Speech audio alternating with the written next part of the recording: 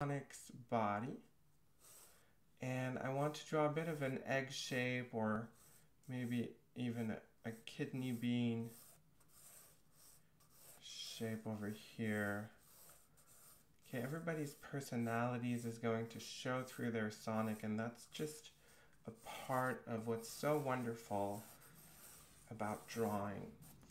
And we have a plumb line falling right in the middle, which is important because now for the fun part, we get to draw Sonic's um, face, which goes a little bit like Mickey Mouse.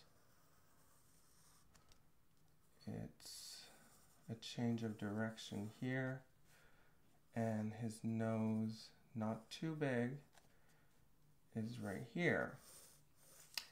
But where Sonic differs quite a bit from Mickey is that he's a lot more fierce looking. So we're gonna ear poking out and his first spike here.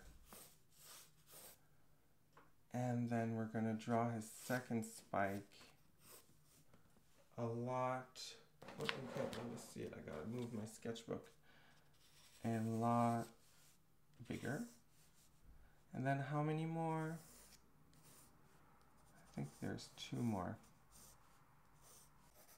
So my goal with this video is to get everyone to draw uh, just as an activity that's super fun and relaxing. It can get your mind off of all your worries and try to find a subject like me that you really enjoy, that you uh, you think you're going to have fun trying to do a good job at uh, rendering. And don't forget to express yourself and to just congratulate yourself for all the little successes, uh, everything that is right about your drawing and that you actually like.